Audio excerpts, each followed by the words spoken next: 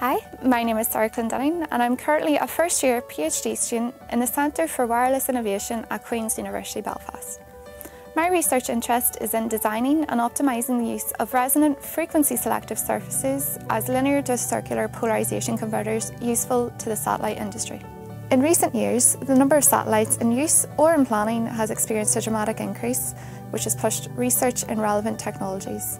Satellites typically use circularly polarised waves for communication, and these communications are restricted to lie within a specified frequency range as a measure against signal interference. Satellites are heavily constrained by the weight, volume and power consumption of onboard devices and that's why multi-use devices are in much demand now, especially with the proliferation of nanosatellites or CubeSats.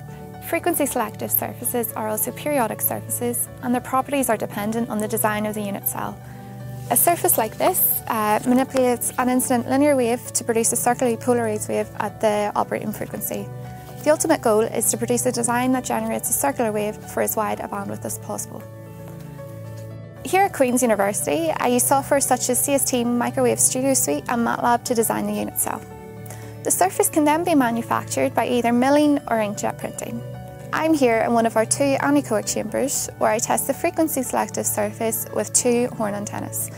Uh, here's the transmitting and on the other side the receiving. I then compare the measurements to simulation using MATLAB in order to validate the design and further improve it.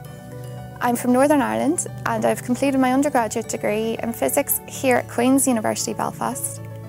I decided to continue my studies within the Centre for Wireless Innovation because I wanted a more technical experience while learning more about electromagnetics. The diverse range of people here has led to a very welcoming and hard-working environment. However, there isn't yet a large female population here. I would definitely encourage women who are put off by the male to female ratio uh, to join us. You're treated no different to anybody else here.